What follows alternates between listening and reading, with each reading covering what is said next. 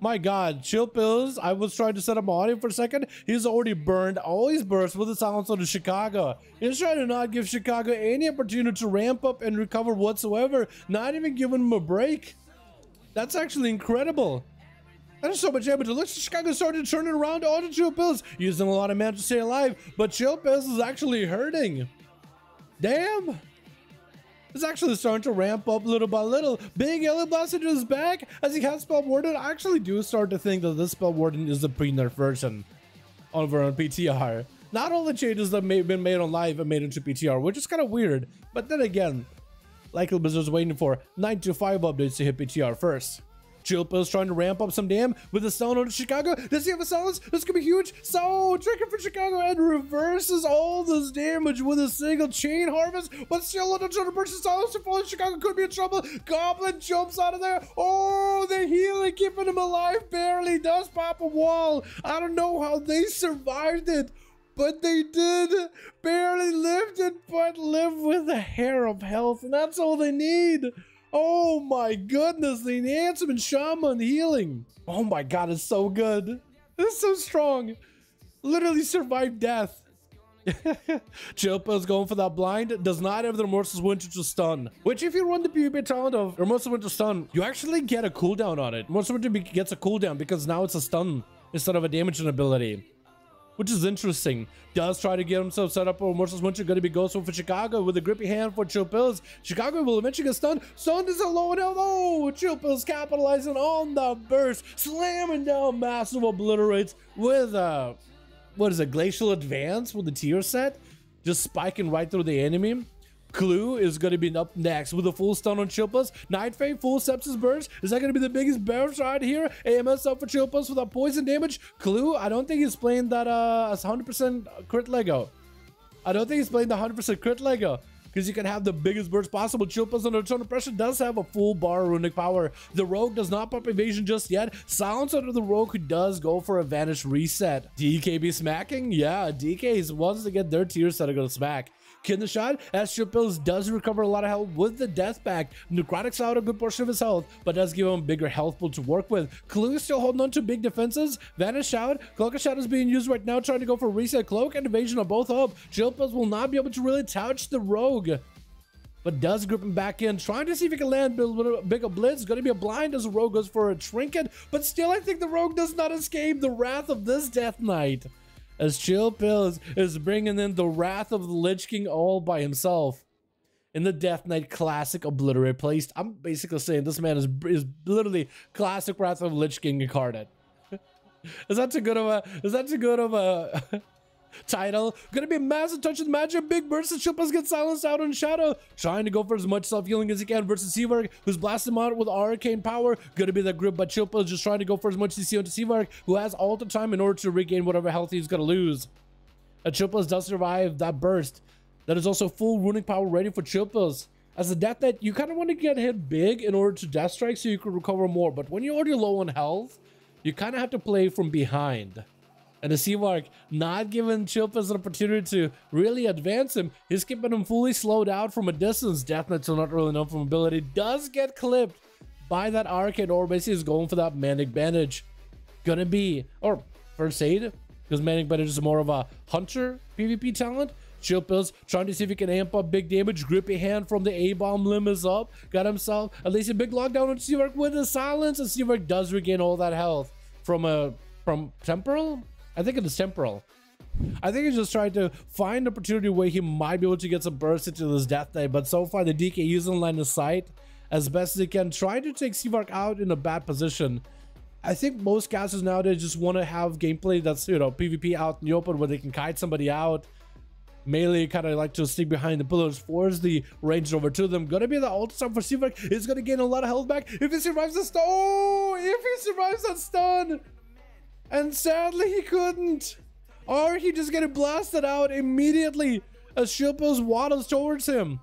Arhi is probably going to have a bunch of defenses available. We are going to be hitting into that dampener.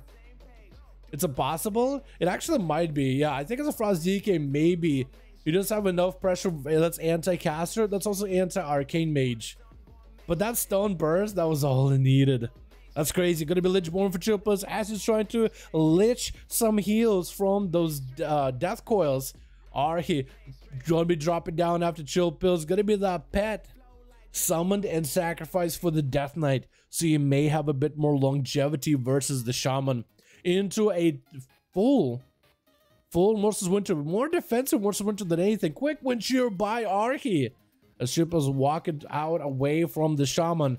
Does have a full, did have, rather, a full bar runic power but he doesn't really have it anymore. Archie got him some big defenses for the Pillar of Frost. Shilpas is going to activate every defensive available. Going to be that AMS as well as the Death just to give him as much health as he can.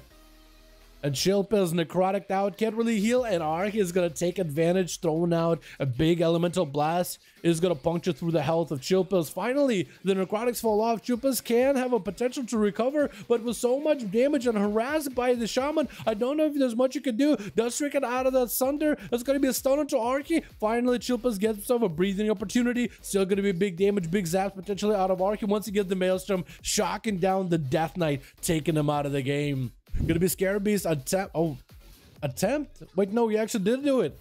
And look at G-Funk was trying to scare Beast Archie while was Ghost but apparently he was going after one of the uh, one of the Archie is actually under a ton of pressure. Gonna be the stun from G-Funk as he's tagging and bagging Archie with all those dots, all the debuffs of a Hunter, backing up out of his Archie exchange out with a Primordial Bolt, going for the big lightning bolts. Frost Shock by Archie and G-Funk back it up out of there, trying to keep the dots rolling, trying to keep the pressure rolling versus the Shaman as he goes in for... I gotta figure out what the name of this absorb trinket is, but this trinket absorbs a portion of the magic damage taken. It offsets magic damage. I guess it's gonna be a magic defense trinket.